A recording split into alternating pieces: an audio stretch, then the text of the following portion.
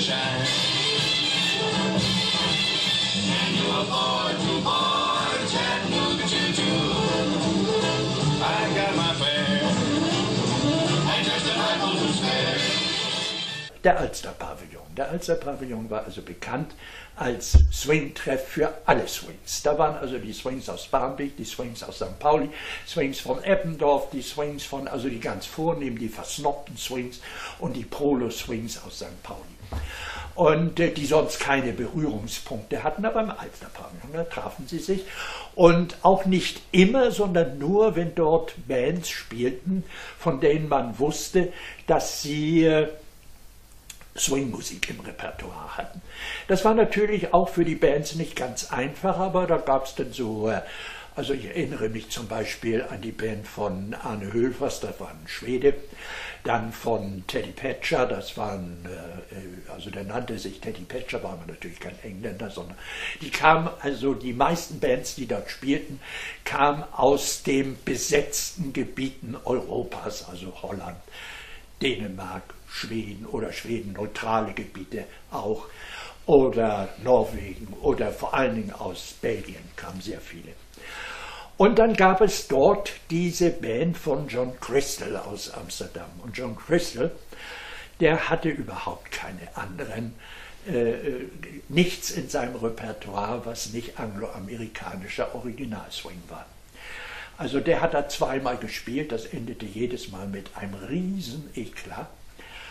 Äh, das eine Mal sehr, das andere Mal, da wurde das dann also äh, ziemlich schnell unterbunden von der Gestapo, obwohl ich bis heute also glaube, dass da irgendwie eine Querverbindung war von der Gestapo zu John Crystal und dem Besitzer des Alster-Pavillons. Anders kann ich mir das nicht vorstellen. Denn es war für die Gestapo, die ja Yacht machte auf die Swings, war das ein also wirklich ein Präsentierteller für die Hamburger Swings. Und die haben das auch immer so gemacht, dass sie äh, warteten, bis, also meistens war es der letzte oder der vorletzte Abend mit dieser Band im Alster Pavillon. Und das begann übrigens schon mittags, also am frühen Nachmittag, weil der Krieg war vor, fortgeschritten und äh, wenn es anfing dunkel zu werden, dann kamen ja schon die Fliegeralarme, also dann musste das vorbei sein. Und äh, dann hatten sie alle Hamburger Swings praktisch auf dem Präsentierteller. Naja, und dann war man da plötzlich, war man da zu 150, 200 Swings, da waren denn da einkassiert worden. Und die, die, wurden dann so nach und nach verhört, dann stand man da, also das hieß ja Spiegelsaal, warum weiß ich nicht.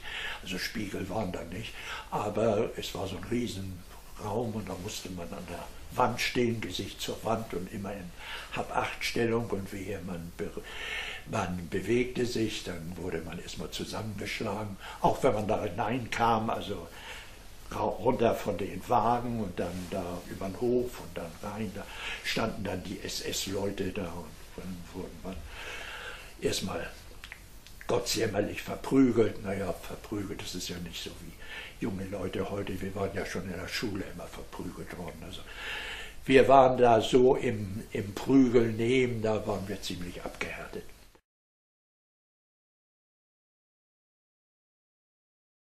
The flat foot with the fly, fly.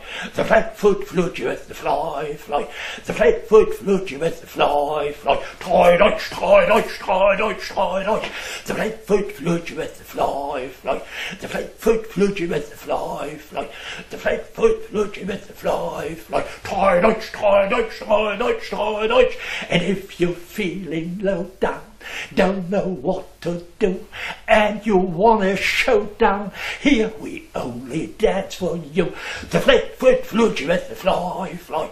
The flatfoot flugy with the fly, fly.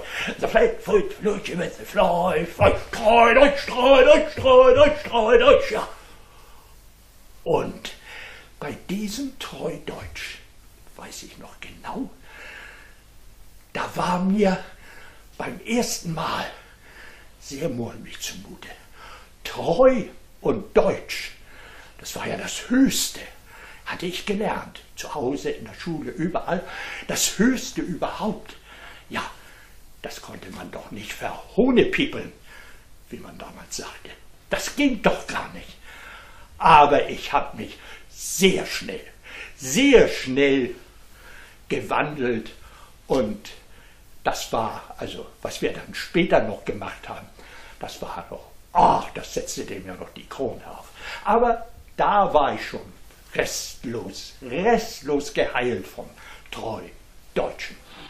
Pardon me, boy, is that?